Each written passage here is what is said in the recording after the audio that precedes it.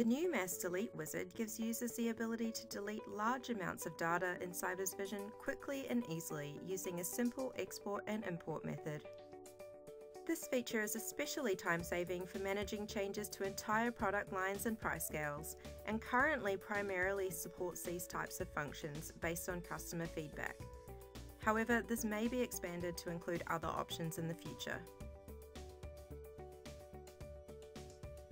Under the Administration tab in the ribbon bar, I can choose which data I want to export for deletion.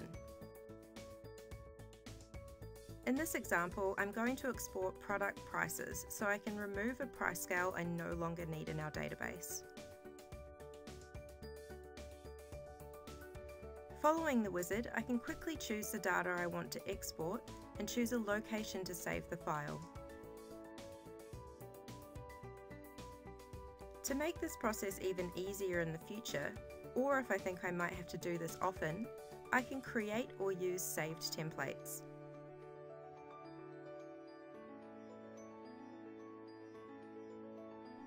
So now I have my export file, and today I want to delete all of my wholesale prices. Because I'm going to import this into the mass delete wizard, I only want to keep the records I want to delete in this spreadsheet. So I'm going to remove all the other records from the spreadsheet before I import it back in.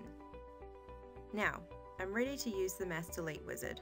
So here I'm going to select Delete from Product Price and upload my file. Where any data cannot be deleted, an error report will be provided for me to review, so I can just tell the wizard what I'd like to do with this information if it occurs. I click Finish and I'm done. Now if I go and open one of my products, I can see that the wholesale price has now been cleared. Before using the Mass Delete wizard, Sybiz recommends taking a backup of your data. However, in the case of a mistake, you should be able to simply re-import the data you've deleted using the import wizard. And there you have it, delete data on mass in a flash with the Mass Delete wizard in Sybiz Vision.